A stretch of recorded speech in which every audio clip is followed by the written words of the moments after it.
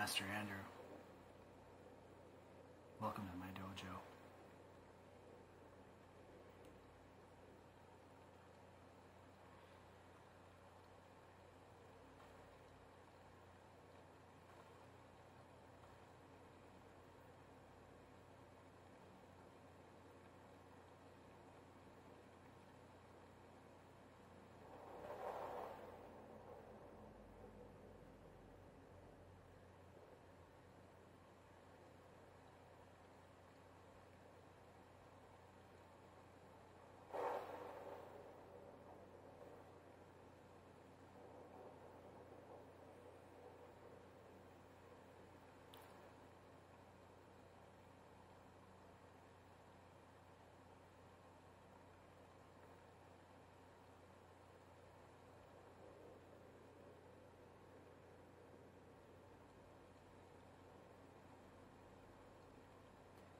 The thoughts, opinions, beliefs, and experiences shared in this video are solely mine. I do not expect anybody to agree with me.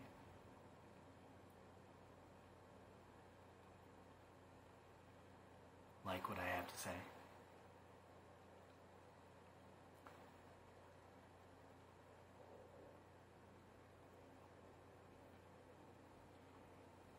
Trust what I have to say.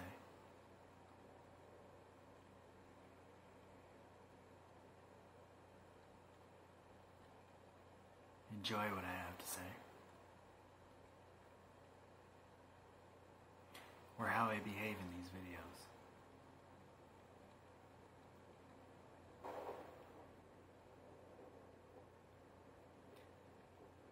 These videos are there to help somebody. That somebody is me.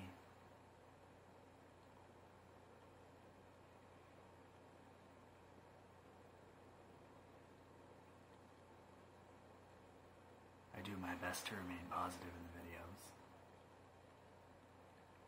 To share only from my personal experience, strength, and hope, and leave everybody else's out of the stories as best I can.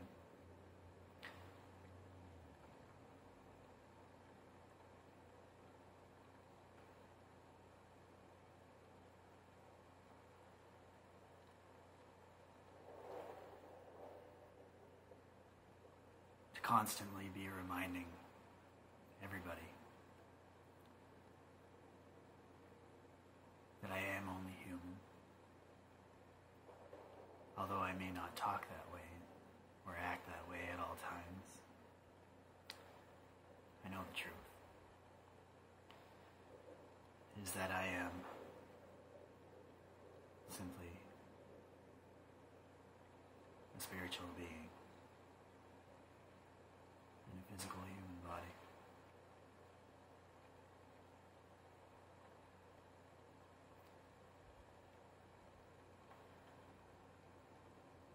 I don't have to be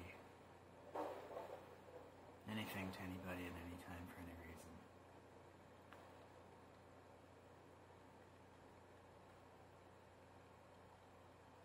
Although I can sometimes forget that. When myself gets in the way, what I mean by that is my selfish desires. Lust and greed being my two biggest demons I'm battling at the moment.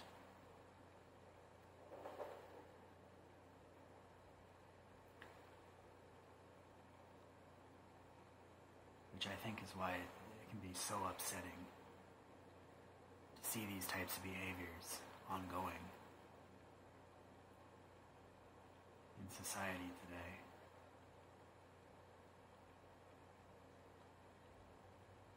I live in an area of the city where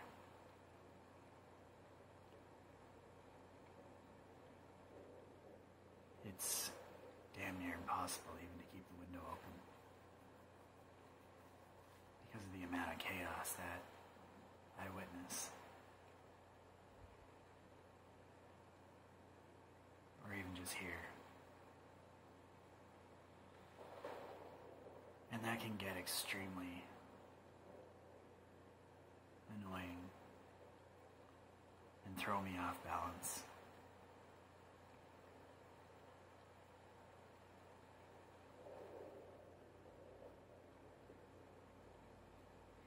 So the window's shut at the moment.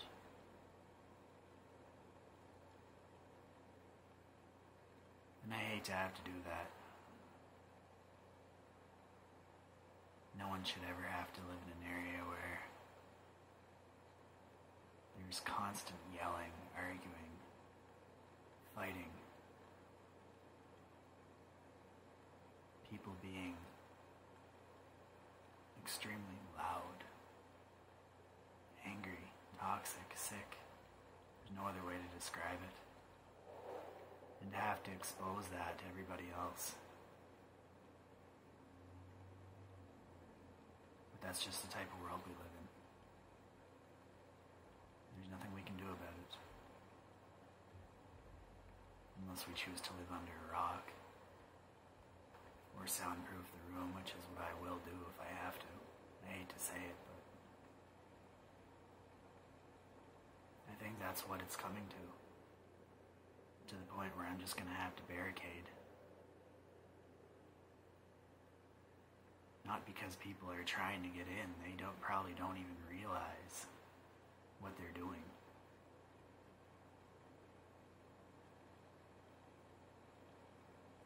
There's a big difference between a normal amount of noise and to the point where it becomes noise overload.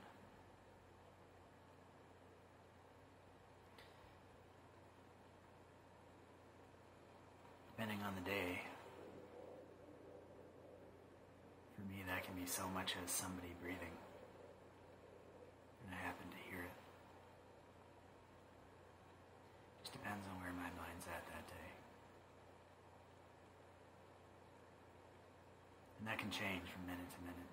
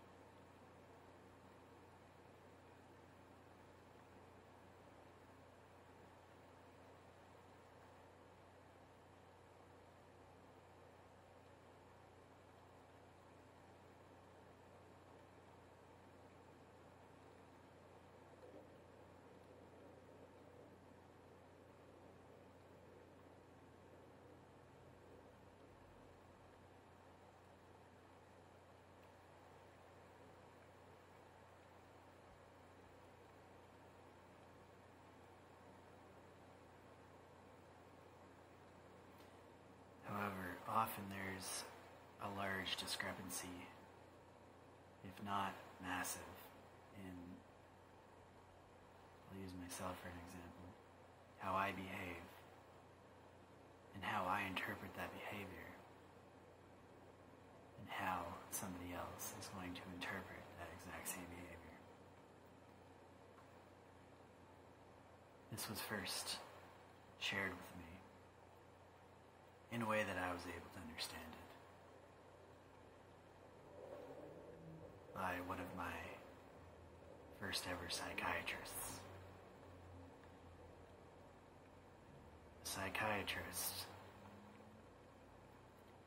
is a mental health doctor that deals strictly with mental ailments or illnesses of the mind.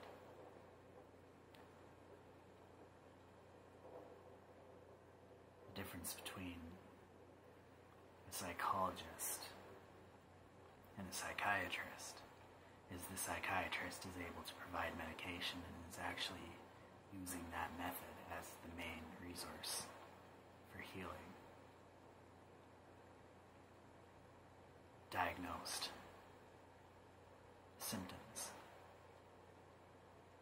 and actual mental illness.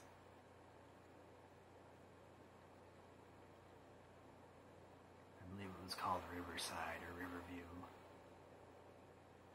Now that I think about it, I'm pretty sure it was called Riverview. I was 18 years old.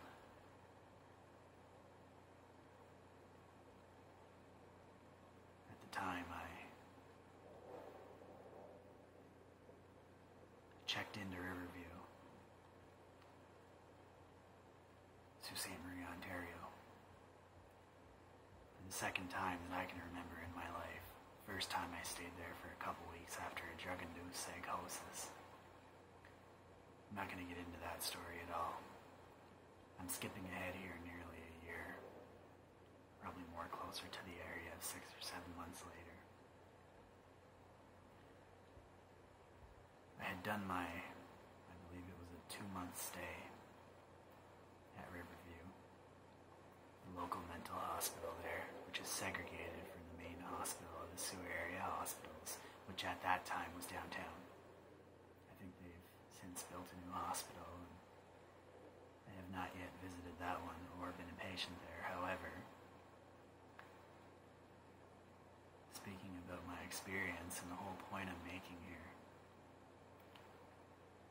I'm standing in front of my psychiatrist after the visit for a follow-up appointment. In his office, I notice all these papers piled around his office. Books. Not sure what all these things are for, but I'm starting to think to myself that this is a very busy man. I couldn't imagine having to go through all that and organize all that stuff. And I guess he wasn't too keen on doing that either because it was scattered all over his office. The man's name is Dr. Pistor. P I S T O R. At that time, was a fake name for a doctor. And I thought he was a fake doctor. I really didn't believe that he was a doctor at that time. I later on came to learn that he was not lying one bit. He's actually a psychiatrist and a well-respected one in the Algoma district, which is St. Marie, Ontario, Canada. I might add. Very tall man, probably about 345 pounds. Not overweight, I would say. Maybe chunky, but anyway. He looked like a detective to me, so I found it difficult to open up to him at that time because the lifestyle that I was living was not one that I would want to be sharing with a detective at that time, or anybody for that matter. I was involved in the drug world, and I'll leave it at that. Getting to the point that I want to about what this man taught me that I didn't until later in life realize. He said, Andrew, and this is paraphrasing here, a lot of the time I will paraphrase because many of the things that people say to me or that I say or stories that I can recount, I don't remember exactly what was said, but I think paraphrasing will do it perfect justice in this situation. He looks at me and he says, Andrew, the way you behave and the way that's perceived by everybody else may be two completely different things, and you don't even realize it because you're not aware. And until you become aware of your behavior, you're going to be walking around this world thinking that the entire world revolves around you. And I'm going to tell you straight up, it doesn't. And not a whole lot of people care about you. And I say that with the utmost respect. When you see somebody looking at you as you walk by them on the street, or somebody drives by you in their car and you happen to notice them possibly looking in your direction, the chances of them actually having a thought about you as they're doing that are maybe 1 in 10. They're probably thinking about where their next stop is or what they had for supper last night, and probably one of the last thoughts has anything to do with you. And you seem to think that the entire world has a personal vendetta to end your life, that people are following you, that people are out to get you, that everybody knows you and everything about your life. And the truth of the matter is, my friend, that they just don't care about you all that much. So for you to be sitting here thinking that they do is a complete waste of time. Now, he said that in about two sentences. But that's how I interpreted it. And that's the message, exactly, that he was trying to convey to me at that time. So he did a very good job of that, and it took nearly 11 years to finally process that. And sometimes that how life works. Information processing can take sometimes an entire lifetime. Much of the time, it's just a constant learning process that never ends. I often think all the time to myself, just when I thought I had understood something, something happens, and I realize I never had it understood at all. And when it comes to the topic of understanding, I often think to myself, I really don't understand anything in this world. Quite like I think I do. Thought I did, or ever will.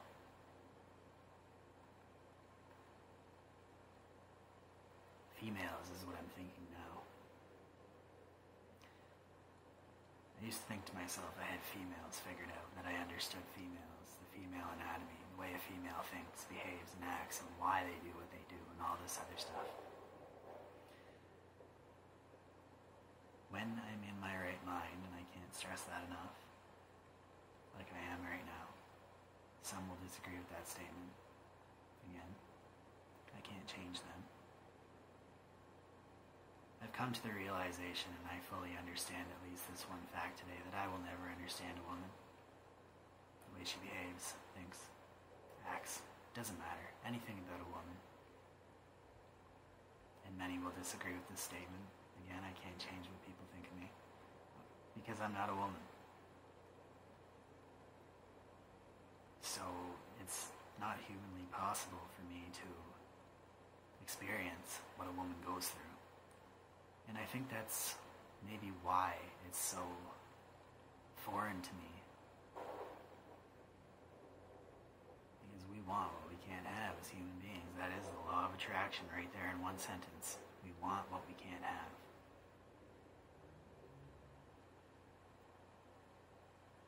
That's it. There's a, probably a million or billion YouTube videos out there relating to the law of attraction that will all explain that. But that's really all it boils down to. We want what we can't have. And human beings will go to any lengths. Not everybody, but to get what we can't have. Believing the entire time that we can somehow obtain it. If we just work a little harder. If we just think a little more about it trial and error, changing our ways, doing it the same.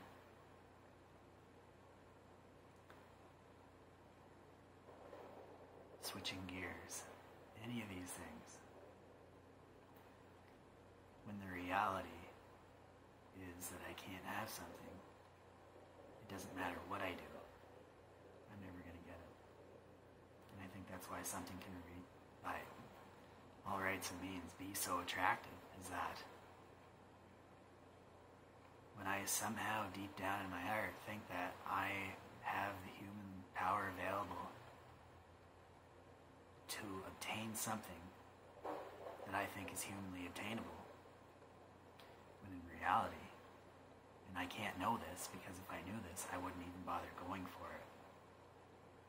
That's the beauty of attraction. I will do anything humanly possible to obtain whatever it is I think is going to cause me that great sense of joy or serenity, which is similar to peace, a feeling of calmness and freedom, being able to do whatever I want, whenever I want, however I want, with no fear, no restrictions, limits, boundaries, or anything of that sort. I will stop at nothing to get that.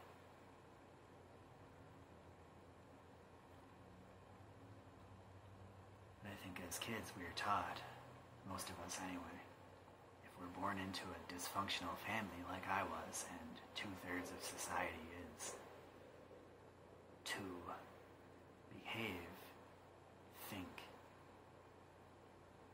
and overall live in certain ways that will get us that quote unquote American dream as it's commonly referred to. In Canada we don't have a saying for that. But it's just basically a happy life. It's really all it is. The white picket fence, the million dollar home, the boy and the girl, the prize wife or husband, for me it would be the prize wife. The two kids, the, the dog. The dog is probably a purebred German Shepherd or something like that. Just a perfect dog, like loyal and listens and all this other stuff. Money in the bank, security, well-being. Everybody's healthy, happy. There's lots of love. And that is the ideal way that everybody's supposed to live, and that's what we're taught. And We're taught how to get that. Unfortunately, many of us are taught to get that through very selfish, personal agenda. Cut off anyone's head, stab anyone in the back that needs to be stabbed in the back to get to the top mentality and stop at nothing. Let nothing get in the way of that. Never give in, never give up, don't bend, don't break, don't fold for any reason whatsoever. Because if you do, you'll be looked at as weak. And you do not want to be looked at as weak. So you better do what I tell you. And that's the way we're meant to grow up, and I grew up that way for nearly 25 years. I would say even more than 25 years. Probably took about 26 years for me to figure out that that way of life just does not work. Some people I, I consider myself fortunate. Many people go their entire life living that way that I was just talking about a few minutes ago. And never have it figured out that happiness, I'm going to give away the answer right now, comes from within.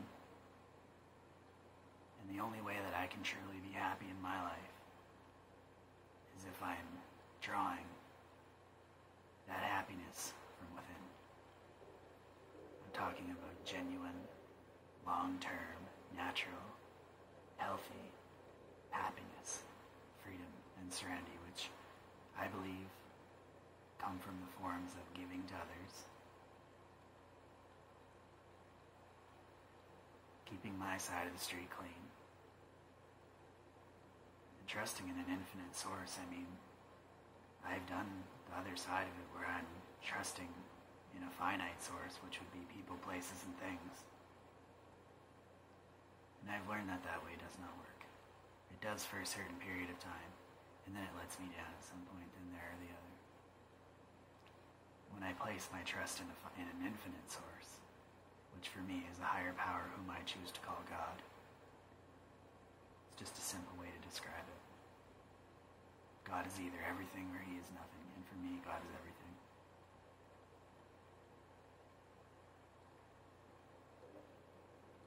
It resonates right here in my heart.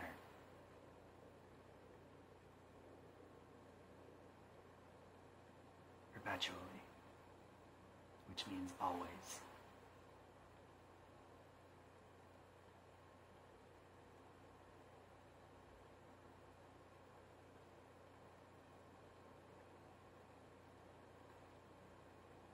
There's a lot of truth to that statement for me.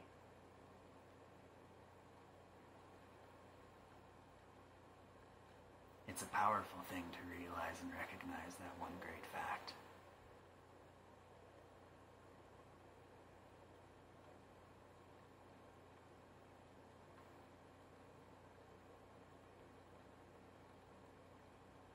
That true happiness comes from within. And then flows out like a river. And with that comes freedom and serenity. Get those things no matter how hard I fight for them or run away from them. They're going to be given to me as undeserved free gifts. And the only way I can keep them is by giving them away to other people.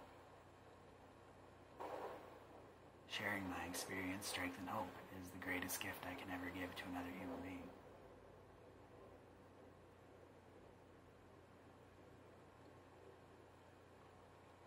And that's the best way we think to keep that.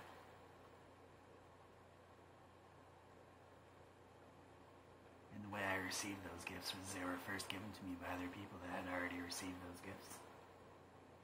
How they received those gifts, I honestly don't know.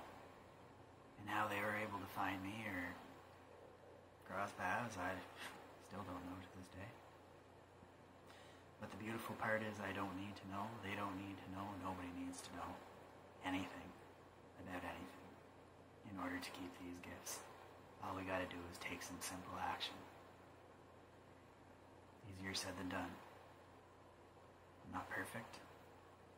I often throw away what I call God's will to take back my own will. What I mean is my selfish behavior, my lust, my greed, like I said before, is what I get into.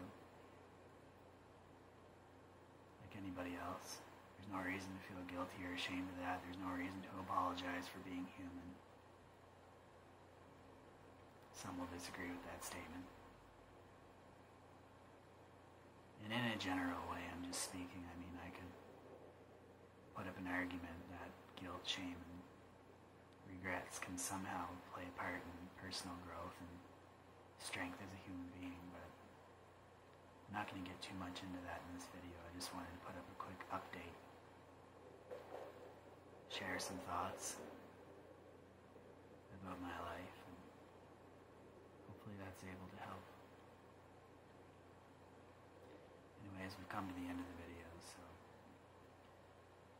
thanks to everybody who subscribed to the channel, likes or dislikes, comments on the videos. Links to all the other social media are in the description. There's also a link to the PayPal more financially fortunate who can leave a donation. And we are gladly accepting those 24 hours a day, 7 days a week. I want to thank everybody for watching, listening, or not. And with that, everybody's free to go for the day. This has been Master Andrew, and this is my dojo.